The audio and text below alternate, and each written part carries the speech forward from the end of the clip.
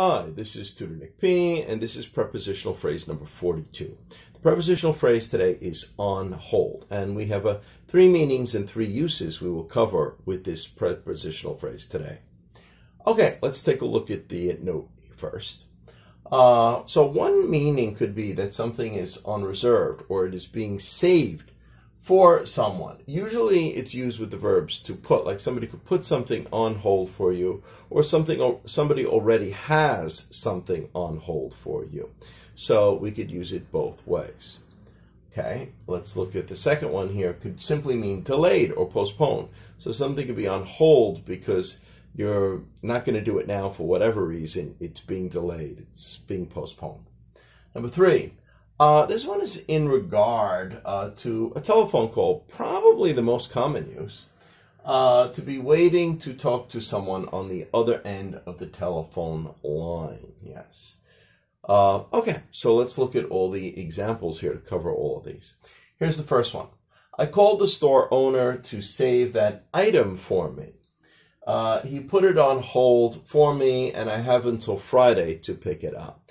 Yeah, so maybe maybe they'll save it for you. They won't save it for you for a very long time, but maybe you know if they know that you're a, customer that's been there before, maybe they will hold it for you. If you call and say, "Put that aside for me. I'm gonna pick it up. I definitely want it.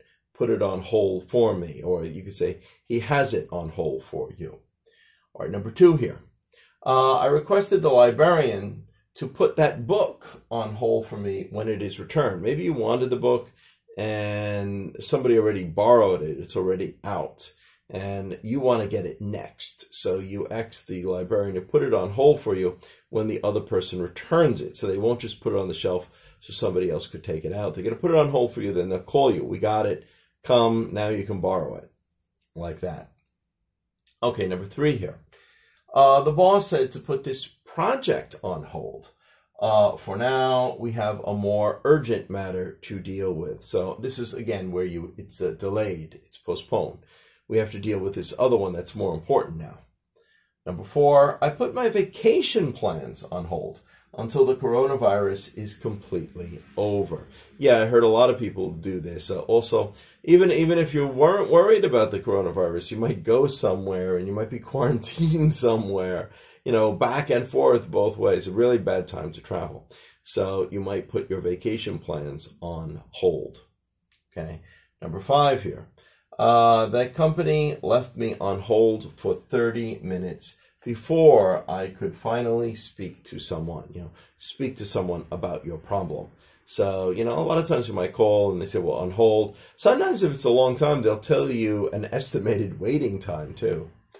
All right, and um, number six here, the last one. Uh, every time I call to complain about something, I end up on hold for a long time. I think they are trying to discourage anyone from complaining. Maybe they do that on purpose because they really don't like complaints. Maybe they hope you will just give up and hang up and forget about complaining. Uh, somebody might say something like that. Anyway, uh, I hope you got it. Uh, hope it was clear. Hope it was informative. Thank you for your time. Bye bye.